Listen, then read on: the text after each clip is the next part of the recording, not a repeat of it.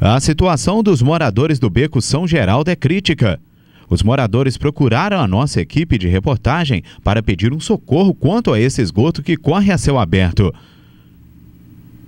Os esgotos das casas saem pela rua e a céu aberto caem nesta vala.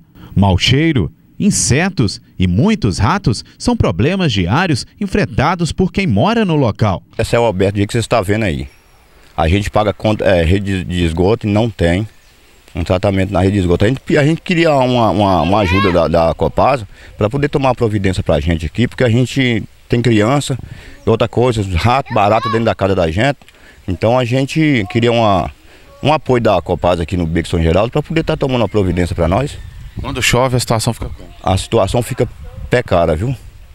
O de esgoto entope, aí o, o, o banheiro da gente invade água. Igual fiquei aqui até 10 e meia da noite desentupindo esse cano aqui para poder desentupir o banheiro lá. E aí sempre pagando a, a conta, sempre, taxa de esgoto? Sempre pagando a taxa de esgoto e não tem apoio da Copasa.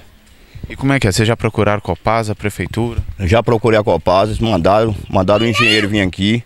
O pessoal da Copasa esteve aqui, disse que ia fazer um, um apoio para nós aqui, até hoje não vieram ninguém. Para piorar a situação, lixo. Muito lixo acumulado no local. Garrafas PETs com água acumulada o que aumenta muito o risco de focos do mosquito Aedes aegypti. Com as contas de água em mãos, onde existe a cobrança da taxa de esgoto, os moradores cobram uma providência. Então, aqui é muito difícil, Dirão, porque a gente não tem o privilégio de almoçar, nem de jantar. Agora mesmo que está no calor mesmo, a gente não pode dormir de tanta muriçoca, barata, rato. A quantidade de rato aqui é muito grande. A gente tem as crianças, as crianças não têm o privilégio de brincar.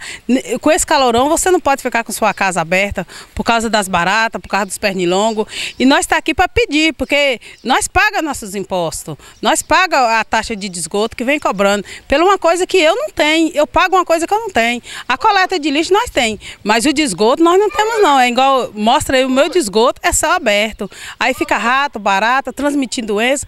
Aí eles cobram da gente para a gente manter o quintal limpo. Mas não adianta nada a gente manter o quintal limpo com esse esgoto aqui a céu aberto, trazendo doença para a gente. Então nós estamos tá aqui para pedir uma ajuda, para eles olhar por nós, porque nós estamos pagando, nós não estamos pedindo eles uma esmola, não. Nós estamos querendo um direito nosso como cidadão, porque nós pagamos nosso imposto, nós pagamos nossas contas de água para isso. É para isso que nós pagamos os nossos impostos. É para isso aí, para nós ter o direito na nossa, nossa rede de esgoto.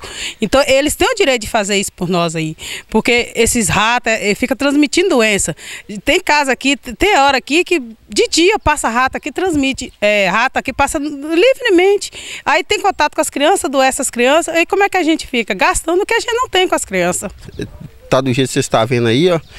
Tem hora que ah, dá umas 6 horas da noite, rato, barata, tudo passando aí.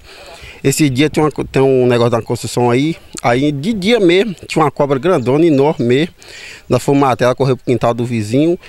E eu mexo com os biscoitos aí no fundo aí. Não, até para os povos virem comprar aqui tá de mau jeito, pezinho, entendeu? Por dar de esgoto. Aí se melhorar o esgoto para nós, até a minha clientela aumenta mais. Ou seja, você está tendo até prejuízo. Prejuízo, eu tenho prejuízo demais. E pagando por uma coisa que você não tem, que é a taxa de esgoto. É, eu não tenho. Olha só ver a situação que tá aí. Tá feio mesmo. Não dá nem pra gente. A gente tem que comprar remédio de matar barata, matar rato, esses trem. É muito difícil para nós no momento aqui. Todo este esgoto que corre a céu aberto e outros que ainda estão nesta situação vem parar aqui, no Rio Mucuri. Uma situação que afeta toda a cidade e no Dia Mundial da Água nós não temos muito o que comemorar. Um dos nossos maiores tesouros sofre diariamente com o esgoto que ainda é despejado em seu leito.